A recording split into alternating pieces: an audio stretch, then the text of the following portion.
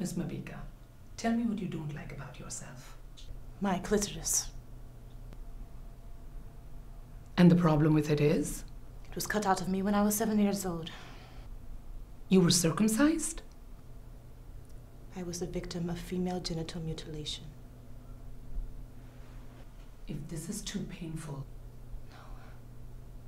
I have to say it out loud. They dragged me from my bed in the middle of the night.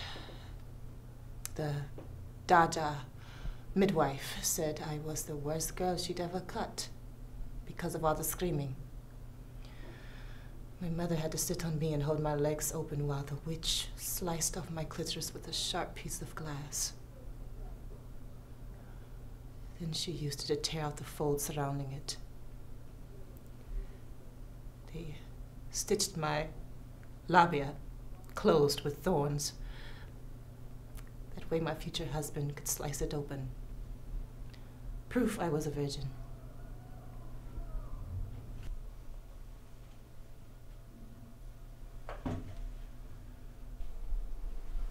I didn't think this sort of a thing still went on.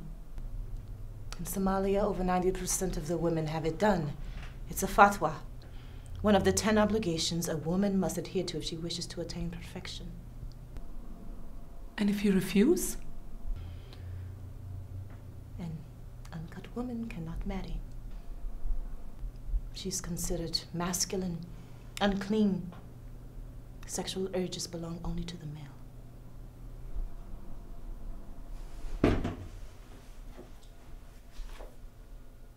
Miss Mabika, are you saying you want a clitoroplasty? I want an orgasm.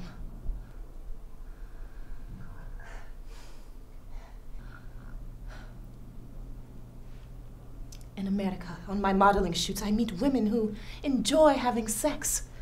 Sex, sex, sex all the time. All the time. Well, they do take breaks every now and then. So, I am asking can you give me an orgasm? That may not be possible. This is America. Anything is possible. Anything, but not everything. We can certainly reconstruct your pudenda, but as for rebuilding a clitoris, restoring sensation,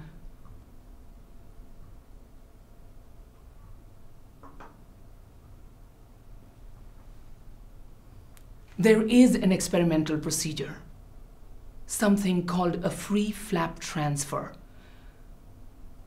where we take the tip of one of your toes and attach it to the clitoral area. It's only been tried a few times, and the chances of a successful graft aren't optimum. Even if there's a little chance. Please, Dr. McNamara, what have I got to lose?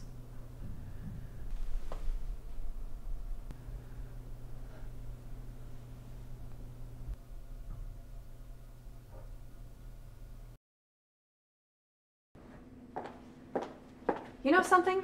I don't know the last time I had a good idea. This segment's a good idea. It's not a really good idea. It's a fine idea, it's a regular idea. You have good ideas. I find myself saying Natalie's got a good idea.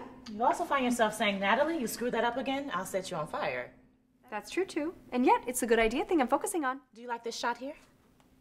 All I see is the Pepsi sign. Moving on. What was the last good idea you had? When I got up this morning, I decided not to stick my hand in the blender. That's what I mean. How about this? That's good. I think the way that you're handling the Casey situation is very good. Casey situation? I'm calling it the Casey situation. It's not a situation. It's a bit of a situation. It's not at all a situation. You're going to Vermont for the weekend with Gordon. Yes, I am. And you bought new lingerie. Yes, I did. And you went out of your way to make sure Casey knew you bought new lingerie. I did not. Right, that was me. Natalie. Well, let's get this show on the road already, huh? There's no show and there's no road. You're going to Vermont with Gordon and new lingerie. Yes, because I choose to. And there's nothing sinister about it.